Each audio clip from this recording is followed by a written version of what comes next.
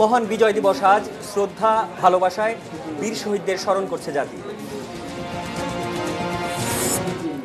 বাংলাদেশের সব ধর্মের মানুষ সমান অধিকার নিয়ে বাস করবে বললেন প্রধানমন্ত্রী। তলাবিহীন ঝুড়ি এখন বিস্ময় নিজস্ব ব্র্যান্ডিংয়ে বাংলাদেশ।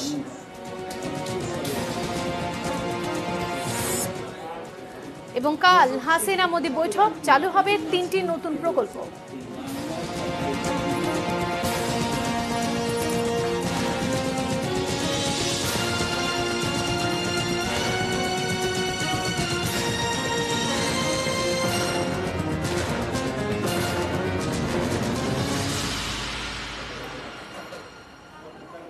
এটি নিউজ দেখছেন। আখি ভদ্র স্বাগত জানাচ্ছি সন্ধ্যা ছটার নিউজ আওয়ারে। আমি সাদাত হাবিব সেতু আছি আপনাদের সাথে। VSL, Angle, Channel, HB, VSL, Vikrampur Steel Limited. আয়োজন। এবার সবাইকে শুভেচ্ছা জানিয়ে শুরু করছি বিজয় দিবসের বিশেষ আয়োজন জয় বাংলা।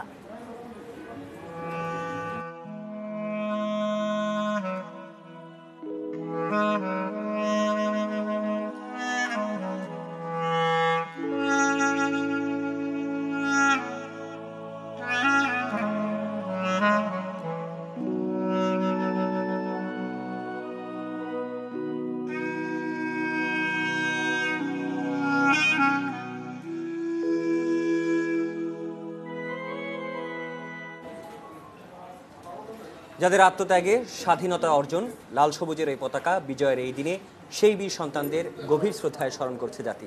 সেই সঙ্গে স্বাধীন দেশের সংবিধানে যারা আঘাত হানছে, সেসব অপশক্তিকে প্রতিহত করার ডাক সাধারণ মানুষের। জাতীয় স্মৃতিসৌধে শ্রদ্ধা জানাতে এসে দৃঢ় কণ্ঠে এই উচ্চারণ তাদের। সূর্যোদয়ের সাথে সাথেই জাতীয় স্মৃতিসৌধে প্রাণের সুর। লাখো শহীদের স্মৃতির বেদিতে শ্রদ্ধার অর্ঘ্য রাষ্ট্রপতি ও প্রধানমন্ত্রীর। করোনায় তারা উপস্থিত না হলেও তাদের পক্ষে সামরিক সচিবেরা পুষ্পাঞ্জলি নিবেদন করেন। এ সময় বীরদের প্রতি সশ্রদ্ধ সালাম জানায় তিন বাহিনীর চৌকশ দল। পরে জাতীয় সংসদের স্পিকার ও মন্ত্রিসভার সদস্যরা শ্রদ্ধা জানান। করোনা সতর্কতায় বিজয় উদযাপনে আয়োজন সীমিত। তারপরও ঘন কুয়াশা, শীত উপেক্ষা করে স্মৃতির মিনারে জনতার ঢল। স্বাধীনতার উনপঞ্চাশ বছর পরও যারা লাখো প্রাণের বিনিময়ে পাওয়া দেশের সংবিধানকে প্রশ্নবিদ্ধ করে, তাদের রুখে দেওয়ার আহ্বান সাধারণ মানুষের। দেশ আরও এগিয়ে যাক এবং যত রকম অপশক্তি রয়েছে সেটি যাতে আর মাথা চারা দিয়ে না ওঠে। আমাদেরকে যে কোনো মূল্যে সেই স্বাধীনতা বিরোধী সকল অপশক্তিকে আমাদেরকে সমূলে নিষ্পেষিত করতে হবে। চেতনা এবং মূল্যবোধ এমন একটি শক্তি যার নিজস্ব কতগুলো শক্তি থাকে সাম্প্রদায়িকতার বিরুদ্ধে উগ্রতার বিরুদ্ধে সেগুলো প্রতিহত করার জন্য যথেষ্ট। তারা কোনোভাবেই স্বাধীনতা বিরোধী চেতনা বাংলাদেশে কখনো মাথাচাড়া উঠতে পারবে না। তাদেরকে সবসময় আমরা পরাজিত করবই। জাতীয় স্মৃতিসৌধে ছুটে আসে বিভিন্ন সামাজিক সাংস্কৃতিক ও রাজনৈতিক সংগঠনের নেতাকর্মীরা। ক্ষমতাসীন দল আওয়ামী লীগের পক্ষ থেকে জ্যেষ্ঠ নেতারা শ্রদ্ধা নিবেদন করেন। দলটির সাধারণ সম্পাদক জানান এবারের বিজয় দিবসের শপথ সাম্প্রদায়িক শক্তিকে প্রতিহত করা। সাম্প্রদায়িকতার যে বীজ বৃক্ষ ডালপালা বিস্তার করেছে সাম্প্রদায়িক সেই বীজ বৃক্ষকে আমরা সমূলে উৎপাদিত করব। বিএনপি ও এর অঙ্গ সংগঠনগুলো শহীদ বেদিতে ফুল দিয়ে শ্রদ্ধা জানায়। এ সময় দলের মহাসচিব বলেন দেশ স্বাধীন হলেও মুক্তি মেলেনি এখনও। মানুষকে মুক্ত করবার জন্য আমাদের সংগ্রাম আমাদের অক্ষুণ্ণ রাখব অব্যাহত রাখব। অবশ্যই ইনশাল্লাহ আমরা বাংলাদেশকে একটা সত্যিকার অর্থে গণতান্ত্রিক রাষ্ট্রে পরিণত করতে সক্ষম হব। ধর্মের অপব্যাখ্যা দিয়ে যারা সাধারণ মানুষকে বিভ্রান্ত করছে তাদের মধ্যে দেশপ্রেম জাতীয় সংগীত আর জাতীয় পতাকার প্রতি শ্রদ্ধা, ভালোবাসা জাগ্রত হোক, এই প্রত্যাশা সবার। একে আজাদ, এটিএন নিউজ, জাতীয় স্মৃতিসৌধ, সাভার। বাংলাদেশ অসাম্প্রদায়িক দেশ। এই দেশে সব ধর্ম, বর্ণ, শ্রেণি, পেশার মানুষ সমান অধিকার নিয়ে বাস করবে। সম্প্রতি ভাস্কর্য নিয়ে মৌলবাদী গোষ্ঠীর বিতর্ক তৈরির প্রচেষ্টা প্রসঙ্গে কথা বলেন আওয়ামী লীগ সভানেত্রী ও প্রধানমন্ত্রী শেখ হাসিনা। বিকেলে বাংলাদেশ আওয়ামী লীগ আয়োজিত বিজয় দিবসের আলোচনা সভায় শেখ হাসিনা এসব কথা বলেন। রাজধানী বঙ্গবন্ধু এভিনিউয়ে দলটির কেন্দ্রীয় কার্যালয়ে আয়োজিত এই সভায় গণভবন থেকে ভিডিও কনফারেন্সের মাধ্যমে যোগ দেন শেখ হাসিনা। দলীয় নেতাকর্মীদের উদ্দেশ্যে তিনি বলেন যে যাই বলুক, বঙ্গবন্ধুর আদর্শে দেশের মানুষের জন্য কাজ করে যেতে হবে। তিনি আরও বলেন, মানুষের সেবা করা আওয়ামী লীগের কাজ। করোনাকালে স্বাস্থ্য সুরক্ষা বজায় রেখে সেই কাজই চালিয়ে যেতে হবে। কখনো মানে তারা আসলে সহযোগী সংগঠন যেভাবে মানুষের পাশে দাঁড়িয়েছেন।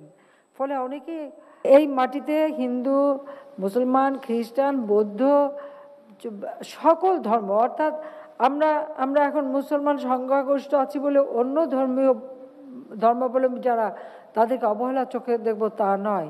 কারণ মনে রাখতে হবে, সকলে এক হয়ে মুক্তিযুদ্ধে একই সাথে রক্ত ঢেলে দিয়ে এদের স্বাধীন করেছে। কাজে এই দেশের মাটিতে ধর্ম, বর্ণ নির্বিশেষে সকলে সমান অধিকার নিয়েই বাস করবে, যার যার ধর্ম পালনের স্বাধীনতা সকলেরই থাকবে। বাংলাদেশকে একসময় বলা হতো তলাবিহীন ঝুড়ি, কিন্তু সেই তলাবিহীন ঝুড়ির দেশটি এখন বিশ্বে উন্নয়নের রোল মডেল বাং, মানুষের উন্নয়নের আকাঙ্ক্ষা তৈরি করেছে এই অর্থনৈতিক সম্ভাবনা আর নিজস্ব ব্র্যান্ডিং ঊনপঞ্চাশ বছরে বাংলাদেশের অর্থনীতির উন্নয়ন আর সম্ভাবনার কিছুটা তুলে ধরেছেন গোলাম কাদের রঘু। পদ্মা সেতু। উনপঞ্চাশ বছর পর বাংলাদেশ বিশ্বকে বিস্মিত করল আরও একবার। নিজের টাকায় বিশ্বের সবচেয়ে গভীরতম পাইলের সেতু। বাংলাদেশ দেখিয়ে দিল আত্মমর্যাদা, আত্মবিশ্বাস আর অসম্ভবকে সম্ভব করার সক্ষমতা। অথচ এই বাংলাদেশকে নিয়ে এর আগে কত কথা, কত আশঙ্কা, টিকে থাকবে কিনা, তিনবেলা খেতে পারবে তো?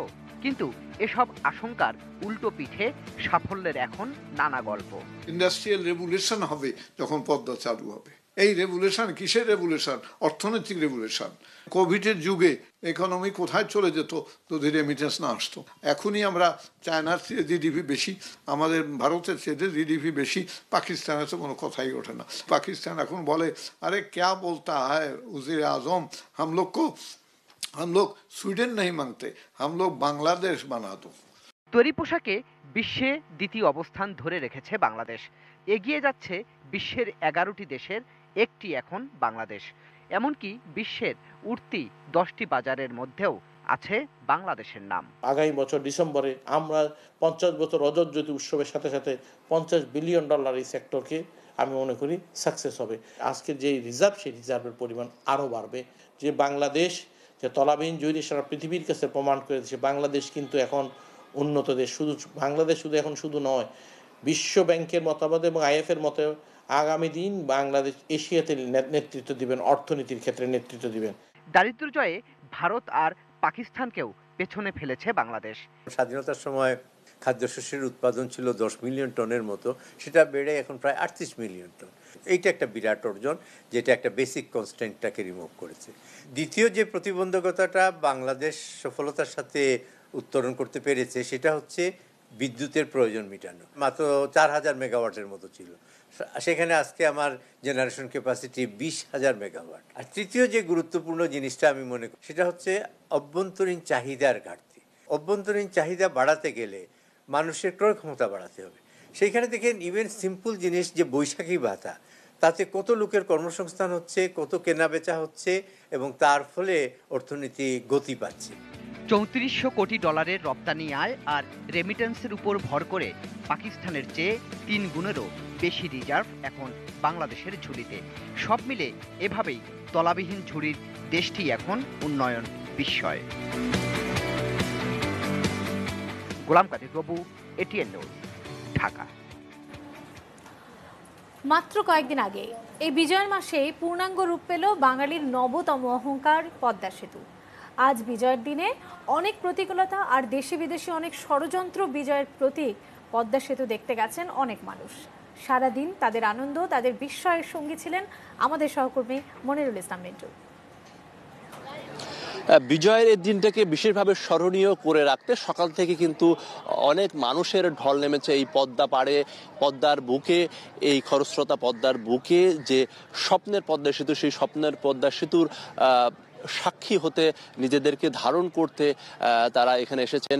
অনেকে এসেছেন বন্ধু বান্ধব নিয়ে, কেউ পরিবার, পরিজন নিয়ে বিভিন্ন সংগঠন থেকে এসেছেন এবং তারা বলছেন যে স্বপ্নের যে বাস্তবায়ন, সে বাস্তবায়নের রূপ তারা দেখতে এসেছেন এবং প্রত্যাশা করছেন যে সব কাজ শেষ করে আগামী বছরের মধ্যেই তারা এই যে স্বপ্নের পদ্মা সেতুর উপর দিয়ে যাতায়াত করবেন এবং এর মাধ্যমে বাংলাদেশের উনত্রিশ জেলার মধ্যে একটা সরাসরি যোগাযোগ স্থাপন হবে, সেটির অপেক্ষায় তারা রয়েছেন এবং উনিশশো একাত্তর সালে পাকিস্তান হানাদার বাহিনী এবং এ দেশীয় দোসরদের মোকাবেলা করে যে স্বাধীন বাংলাদেশ লাল সবুজের পতাকা, তেমনি এই পদ্মা সেতু করতে গিয়েও যে নানা ষড়যন্ত্র মোকাবেলা করতে হয়েছে, নানা চ্যালেঞ্জ মোকাবেলা করতে হয়েছে, সেই চ্যালেঞ্জের সাক্ষী এই পদ্মা সেতু এবং দেশীয় অর্থায়নে যে বাংলাদেশ পারে, এরকম একটি কঠিন এবং দুঃসাধ্য কাজ করতে সেটির তারা এখানে যারা এসেছেন, তারা বলছেন যে এই যে অগ্রযাত্রা, বাংলাদেশের যে অগ্রযাত্রা, পঞ্চাশ বছরের যে বাংলাদেশ, সেই বাংলাদেশের যে অগ্রযাত্রা তারই যেন একটা দৃষ্টান্ত, উজ্জ্বল দৃষ্টান্ত এই পদ্মা সেতু এবং বিভিন্ন শ্রেণি পেশার মানুষ এখানে এসেছেন এবং অনেকেই দাবি করছেন যে, এই জায়গাটিকে যেন একটা পর্যটক এলাকা হিসেবে গড়ে তোলা হয়, সেটিরও তারা দাবি জানাচ্ছেন। তো সব কিছু মিলে বলা যায় যে, আজকের যে চমৎকার রৌদ্রোজ্জ্বল পরিবেশ, সেই পরিবেশের মধ্য দিয়ে মানুষ কিন্তু একেবারে নির্মল আনন্দ উপভোগ করছেন। কারণ করোনার কারণে যে ঘরবন্দি মানুষ সেখান থেকে কিছুটা মুক্তি, নির্মল বায়ু এবং এখানে নদীতে তারা অনেকেই নৌকা নিয়ে ঘুরছেন, ফিরছেন এবং এই বিজয়ের দিনটাকে বিশেষভাবে স্মরণ করছেন। যত খুশি পিঠা খাওয়ার আনন্দের পর এবার বিজয়ের আনন্দ খোঁজ। বিজয় দিবসে এটিএন নিউজ ও বিদ্যানন্দ ফাউন্ডেশনের উদ্যোগে ইচ্ছে মতো খাবারের স্বাধীনতা পেল সুবিধাবঞ্চিত প্রায় সাড়ে চারশো শিশু। ষোলোই ডিসেম্বর দুপুরে কৌরান বাজারে এটিএন নিউজ কার্যালয়ের সামনেই ছিল এই আয়োজন। রাজধানীর নানা প্রান্ত থেকে এলো অতিথি শিশুরা, নিজেদের পছন্দের খাবার বেছে নিল। যার যতটা ইচ্ছা খাবার নেওয়ার স্বাধীনতা ছিল, বিজয়ের পঞ্চাশতম বছর ছোঁয়ার আনন্দ বহুগুণ বেড়ে যায় শিশু কিশোরদের এমন উচ্ছ্বাসে। ঈদ, পূজাসহ সকল উৎসবেই এভাবে হাসি মুখে, সব, সবার মুখে হাসি ফোটানোর উদ্যোগ নিতে আহ্বান রেখেছেন আয়োজকরা। তারা বলেন, এভাবেই জাতির জনকের স্বপ্নের বাংলাদেশ গড়া সম্ভব। যে দেশে মানুষের পাশে দাঁড়াতে মানুষের অভাব হবে না।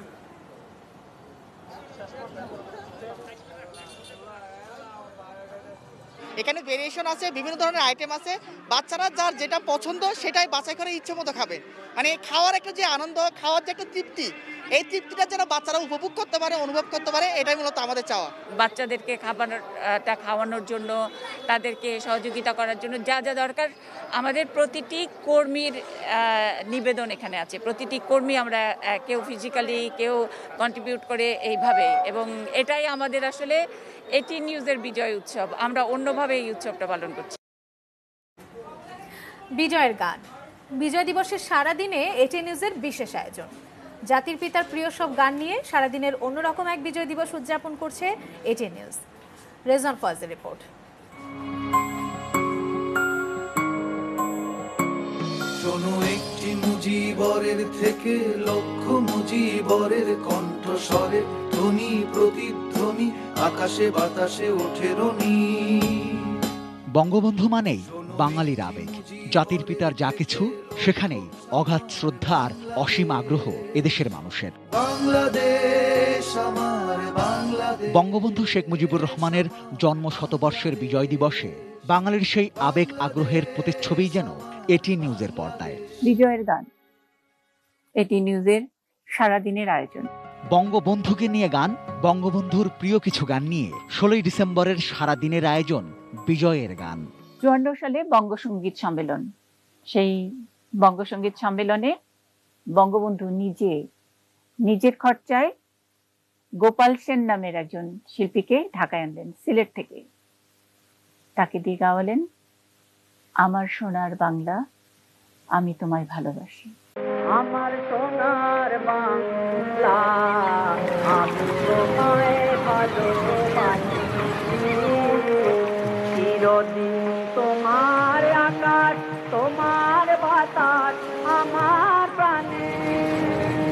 তথ্যের সাথে আনন্দের মিশেল। ইনফোটেইনমেন্টের এই যুগলবন্দিতে বঙ্গবন্ধুর সাথে এসব গানের যোগসূত্রের ইতিহাসটাই উঠে এসেছে। উনিশশো বাহাত্তর সালের তিরিশে জানুয়ারি ঢাকা স্টেডিয়ামে মুক্তিযোদ্ধারা আত্মসমর্পণ করছেন। বঙ্গবন্ধু শেখ মুজিবুর রহমান দেখলেন, একজন পরিচিত তার মানুষ, তার এক হাতে স্ট্যান্ড গান, এক হাতে দোতারা। তিনি তার পায়ের কাছে এসে স্ট্যান্ড গানটি রাখলেন। বঙ্গবন্ধু বিস্ময়ের সঙ্গে দেখলেন, তার পরিচিত সেই তোরা বালিশাই আর সত্য মানুষ শেখ মজিবা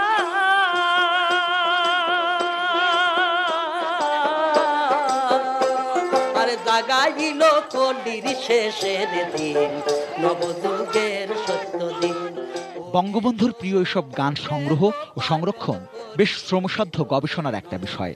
আর্কাইভে একাত্তরকে এই কাজে সহায়তা দিয়েছে আইএফএসি ব্যাংক। তাদের সৌজন্যেই এটিএন নিউজের আয়োজন, বিজয়ের গান। বিজয়ের গানের মাধ্যমে আমাদের দেশের মানুষ তাদের মনের কথা বলছে, তাদের অনুভূতির কথা বলছে, তাদের স্বপ্নের কথা বলছে। তাদের কখনো কখনো বেদনার কথা বলছে, কখনো কখনো বিজয়ের কথা বলছে, আনন্দের কথা বলছে। এই বিজয়ের গানের এই বিষয়টার মধ্যে আমার কাছে মনে হয় মানুষের সাংস্কৃতিক সংবেদনশীলতা, মানুষের মনন, মানুষের অনুভূতি বিকশিত হয়েছে। তো এই ধরনের একটি অনুষ্ঠানের সঙ্গে আমরা সংযুক্ত হতে পেরে নিজেদেরকে আমরা সৌভাগ্যবান মনে করছি। জাতির পিতার প্রিয় গানে এটি নিউজের সাথে এবারের বিজয় দিবস উদযাপিত হোক বঙ্গবন্ধু এবং বাংলাদেশের প্রতি অপার ভালোবাসার গভীর শ্রদ্ধায়। বাংলাদেশ আমার বাংলাদেশ রিজন ফয়েজ এটিএন নিউজ ঢাকা। যাচ্ছি অন্য প্রসঙ্গে, করোনার খবর জানাব। দেশে করোনায় আরও সাতাশ জনের মৃত্যু হয়েছে। এ নিয়ে করোনায় সাত হাজার একশো ছাপ্পান্ন জনের মৃত্যু হলো। বুধবার স্বাস্থ্য অধিদপ্তরের সংবাদ বিজ্ঞপ্তিতে জানানো হয়, সবশেষ চব্বিশ ঘন্টায় সতেরো হাজার পঁচিশ জনের নমুনা পরীক্ষা করা হয়েছে। এতে এক হাজার ছশো বত্রিশ জনের নতুন করে করোনা রোগী শনাক্ত হয়েছেন। এ নিয়ে মোট শনাক্ত হলেন চার লাখ পঁচানব্বই হাজার আটশো একচল্লিশ জন।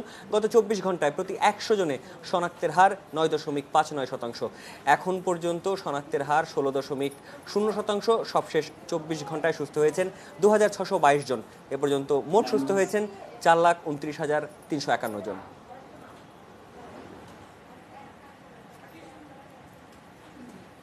শেখ হাসিনা নরেন্দ্র মোদীর শীর্ষ বৈঠকে দুই দেশের মধ্যে চালু হবে তিনটি নতুন প্রকল্প। সই হচ্ছে চারটি সমঝোতা স্মারক। এছাড়া ভারতীয় প্রধানমন্ত্রীকে আগামী মার্চে আনুষ্ঠানিকভাবে ঢাকায় আসার আমন্ত্রণ জানাবেন বাংলাদেশের প্রধানমন্ত্রী। আগামীকাল সকালে অনুষ্ঠিত হচ্ছে দুই প্রধানমন্ত্রীর ভার্চুয়াল বৈঠক। মুজিব বর্ষের উদ্বোধনী আয়োজনেই ঢাকা আসার কথা ছিল ভারতীয় প্রধানমন্ত্রী নরেন্দ্র মোদীর। করোনার কারণে সেই সফর বাতিল হয়ে যাওয়ার পর বাংলাদেশের পঞ্চাশতম বিজয় দিবসের আয়োজনে যোগ দেবার ইচ্ছের কথা জানান নরেন্দ্র মোদী। মহামারীর বাস্তবতায় যা পরিণত হয়েছে দুই প্রধানমন্ত্রীর ভার্চুয়াল বৈঠকে। এই বৈঠককে কার্যকর করতে দুই দেশের মধ্যে প্রস্তুত হয়ে থাকা বেশ কিছু কার্যক্রমের আনুষ্ঠানিক উদ্বোধন ও সমঝোতা সই হচ্ছে। অনেকগুলো কুইক ইম্প্যাক্ট প্রজেক্ট উদ্বোধন হবে। আমাদের বড় বড় যেগুলো ইস্যু আমরা সবসময় তুলে থাকি সেই ইস্যুগুলো আমরা রেজ করব। যার মধ্যে থাকছে চিলাহাটি হলদিবাড়ি রেলপথের উদ্বোধন। উনিশশো পঁয়ষট্টি সালে ভারত পাকিস্তান যুদ্ধে বন্ধ হয়ে যাওয়া এর রেল লাইনে আগামী ২৬ মার্চ থেকে ঢাকা শিলিগুড়ি রুটের যাত্রীবাহী ট্রেন চলাচল শুরু হওয়ার কথা। আমাদের ওই যে রেলওয়ে হলদিয়া বাড়ি পঞ্চান্ন বছর পরে এইটারও চালু হবে। হাসিনা মোদির বৈঠকে গুরুত্ব পাচ্ছে তিস্তা সহ অভিন্ন নদীগুলোর পানি বন্টন ইস্যু। দুই দেশের মধ্যে হয়ে যাওয়া ঋণ চুক্তিগুলোর বাস্তবায়ন সহ নানান বিষয়ে।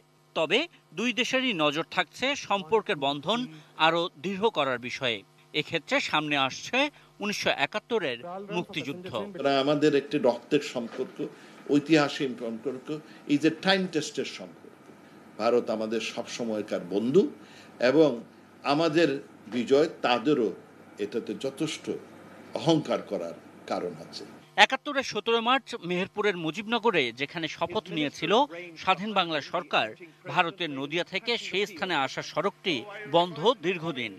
আগামী ২৬ মার্চ থেকে এটি খুলে দেওয়া হচ্ছে। আমরা যদি রোডটা খুলে দিই আমরা এটা রোডের নাম দিতে চাই স্বাধীনতা সড়ক।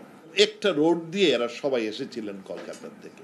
সেই রোডটা এই মহে- মেহেরপুর আর নদিয়ার বর্ডারে এরপর থেকে এই রোডটা বন্ধ। ভার্চুয়াল বৈঠকে নানান আলোচনা হলেও ভারতের প্রধানমন্ত্রী বাংলাদেশে আসতে চান দ্রুতই। সেক্ষেত্রে করোনা পরিস্থিতির উন্নতি হলে স্বাধীনতার পঞ্চাশ বছর পূর্তিতে আগামী ২৬ মার্চ নরেন্দ্র মোদী আসতে পারেন ঢাকা সফরে। আশিকুর রহমান অপু এটি নিউজ ঢাকা। সময় হলো বায়োজিৎ স্টিল বিরতি নেয়ার এর পর্যা থাকছে।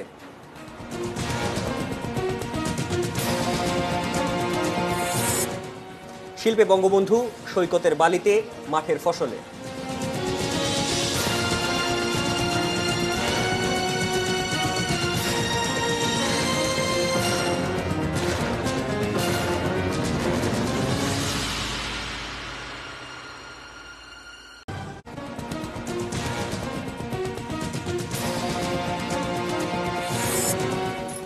মহান বিজয় দিবস আজ শ্রদ্ধা ও ভালোবাসায় বীর শহীদদের স্মরণ করছে জাতি। বাংলাদেশে সব ধর্মের মানুষ সমান অধিকার নিয়ে বাস করবে বললেন প্রধানমন্ত্রী। তলাবিহীন ঝুড়ি এখন বিস্ময় নিজস্ব ব্র্যান্ডিংয়ে বাংলাদেশ। এবং কাল হাসিনা মোদি বৈঠক চালু হবে তিনটি নতুন প্রকল্প।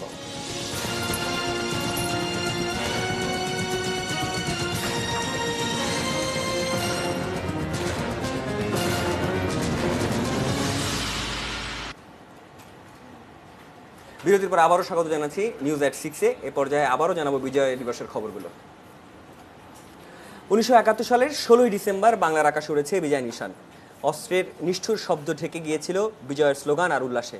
তারপর থেকেই প্রতি বছর বিজয় দিবস পালিত হচ্ছে শ্রদ্ধা, আনন্দ আর ভালোবাসায়। বিজয়ের প্রথম বর্ষপূর্তি কেমন ছিল তা জানাচ্ছেন মফিদুল তপু।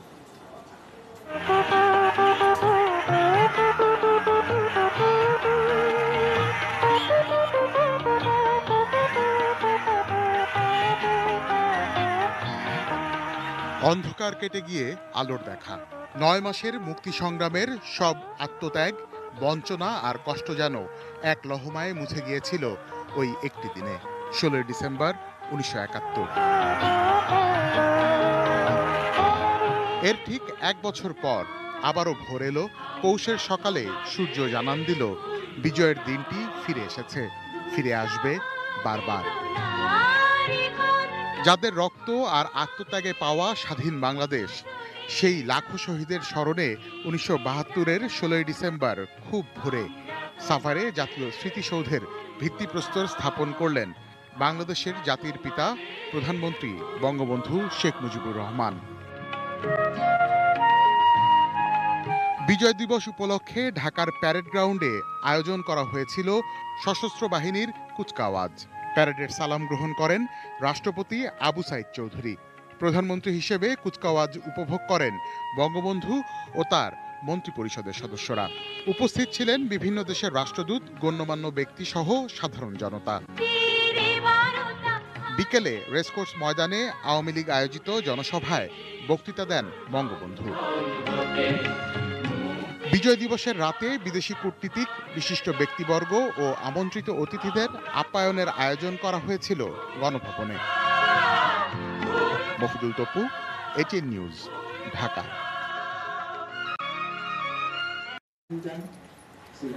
শিল্পে বঙ্গবন্ধু। এদেশটা তার হাতে গড়া। এদেশের মাটিতে, আকাশে, বাতাসে মিশে আছে তার নাম, তার অস্তিত্ব। বঙ্গবন্ধু আছেন এদেশের কবির কলমে শিল্পীর তুলিতে ভাস্করের হাতুড়ি ছেনি আর দেশের যারা মেরুদণ্ড, সেই কৃষকের লাগলে। বন্ধু বঙ্গবন্ধুকে নিয়ে দুটি শিল্পকর্মের কথা জানব এবার।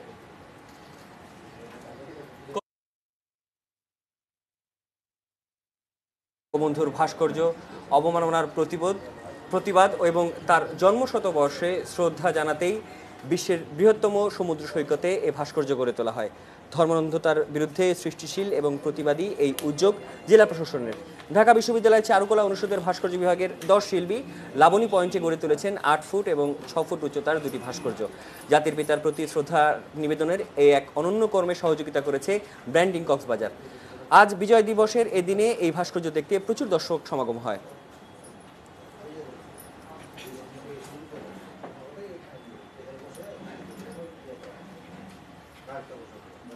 বঙ্গবন্ধু। বাংলার মানুষকে ভালোবাসায় যার সবচেয়ে বড় শক্তি, আবার সবচেয়ে বড় দুর্বলতাও। সেই ভালোবাসায় ফিরে আসছে দশক দশক পরে মুজিব শতবর্ষে আর স্বাধীনতার সুবর্ণ জয়ন্তীতে ময়মনসিংহের কৃষক আব্দুল কাদির ফসলি মাঠে ফুটিয়ে তুলেছেন বঙ্গবন্ধু এবং বাংলাদেশের অসামান্য শিল্পরূপ। শোনো, একটি মুজিবরের থেকে লক্ষ মুজিবরের কণ্ঠস্বরের ধ্বনি, প্রতিধ্বনি, আকাশে বাতাসে অতিরুণী বাংলাদেশ, আমার বাংলাদেশ। বঙ্গবন্ধুর বাংলাদেশ স্মরণ করছে তাদের জাতির পিতাকে। তারই জন্ম শতবার্ষিকীতে স্বাধীনতার পঞ্চাশ বছরে। হাটে ঘাটে মাঠে কৃষকের ফসলি জমিতে উঠে আসছে একটি নাম, শেখ মুজিবুর রহমান। সেই সবুজের বুক চেরামিত পথে আবার যে যাব ফিরে আমার। হারানো বাংলাকে আবার তো ফিরে পাবো।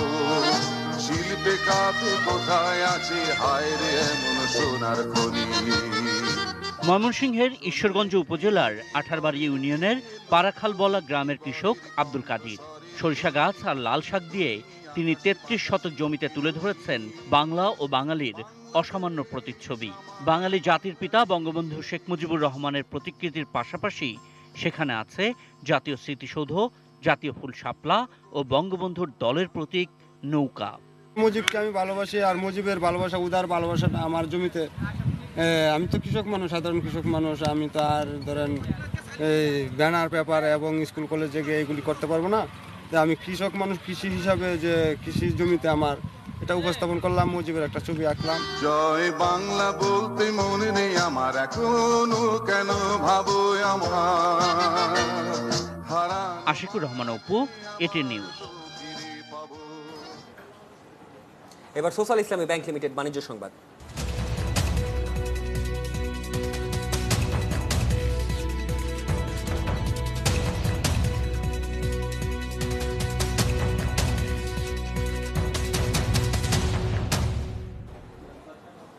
রংপুরে কমেছে শীতের সবজির দাম।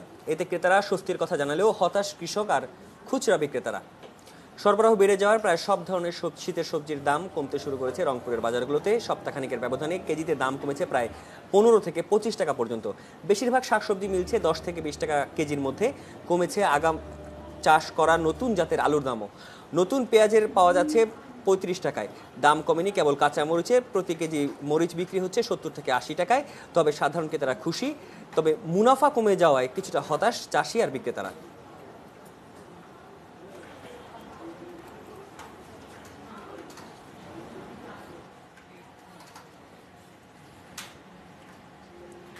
এবার মেটাল প্রেজেন্স কৃষি সংবাদ, সুজলা সুফলা।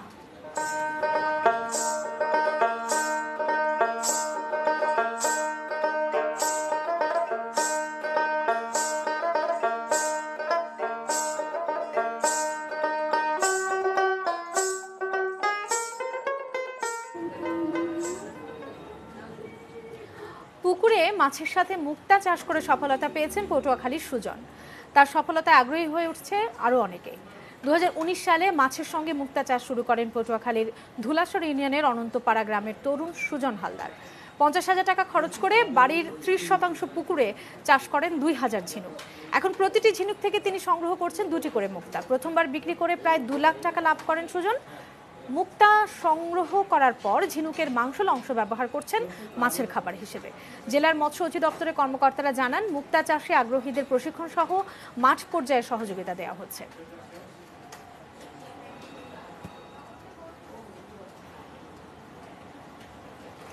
সময় হলো আরও একটা বায়োজ্যোতি স্টিল বিরতি নেওয়ার। এরপর যা থাকছে।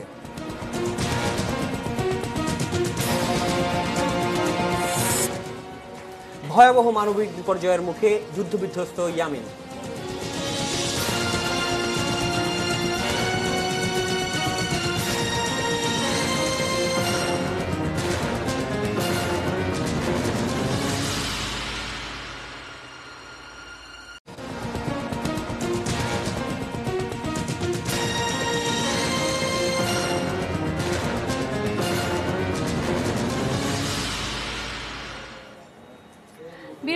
ফিরে এসে আবারও সবাইকে স্বাগত জানাচ্ছি আমাদের আজকের এই আয়োজনে। এই মুহূর্তে আমাদের হাতে আর কি খবর আছে সেটা দেশের বাইরের খবর জানাই। দেশের খব- বাইরের খবরটা আমরা একটু এক নজর জেনে নিই।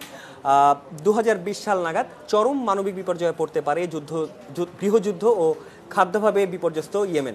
International Rescue Committee IRC সাম্প্রতিক এ বিষয়ে উদ্বেগ প্রকাশ করেছে। ইয়েমেনের রাজধানী সানায় আল জাজিরাকে বুধবার এই কথা জানিয়েছে ইয়েমেনের আইআরসি এর পরিচালক তামুনা সাবাদাস। তিনি বলেন চলমান গৃহযুদ্ধ ও আন্তর্জাতিক সাহায্য পাওয়ার ক্ষেত্রে স্থবিরতার কারণে এই অবস্থার মুখে পড়তে পারে দেশটি। যুদ্ধ বন্ধে বিশ্ব নেতাদের সবাইকে একসাথে কাজ করতে হবে, না হলে ইয়েমেনের পরিস্থিতি বর্তমান, পরিবর্তন হবে না। আইআরসি বলছে, ইয়েমেনের সাধারণ মানুষের কোনো ভবিষ্যৎ নেই, তাদের কোনো আশাও নেই। খাদ্য, স্বাস্থ্যসেবা এবং শিক্ষা, সব ক্ষেত্রেই দেশটির চব্বিশ মিলিয়ন মানুষ জরুরি ত্রাণ সহায়তার প্রয়োজন।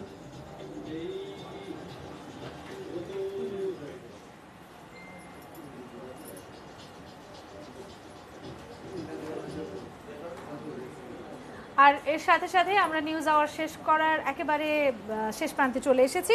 সেহেতু আমরা আবারও ফিরবো। দর্শকদেরকে আমাদের অন্যান্য আয়োজন দেখার আমন্ত্রণ জানিয়ে আমরা বিদায় হ্যাঁ আমরা আমাদের এই বিজয় দিবস উপলক্ষে বঙ্গবন্ধুর পছন্দের গান নিয়ে বিজয়ের গান অনুষ্ঠানটি দেখার আমন্ত্রণ জানিয়ে ছটার নিউজ আওয়ার এখানে শেষ করছি।